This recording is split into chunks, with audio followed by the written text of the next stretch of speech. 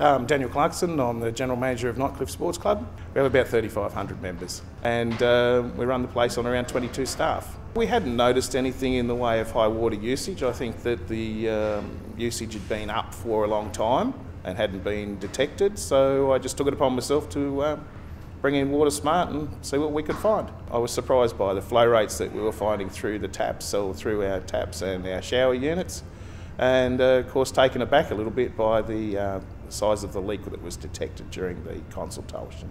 We sort of had a look around and started looking around for things and um, during some development work we were doing up the back in the bowls area there, we're building a, a new function space. During some just some exploratory digging we came across some old piping work that was uh, leaking water.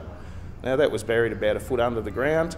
Uh, turned out was costing us in the vicinity of $4,000 a year. Totally unaware whether that was uh, detected earlier through the, the club's finances, but certainly uh, a great find. Our greatest water usage of, uh, would be our irrigation, I think, uh, along with the cleaning process. As a result of the consultation, we then proceeded to replace all the toilets throughout the building.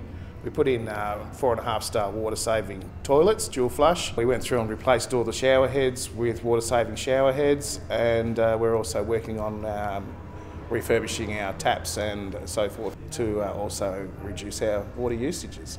We've also taken it further and uh, replaced all our light fittings throughout the club with LED lighting, uh, which again has reduced our power consumption also and, um, and been a fantastic result all round.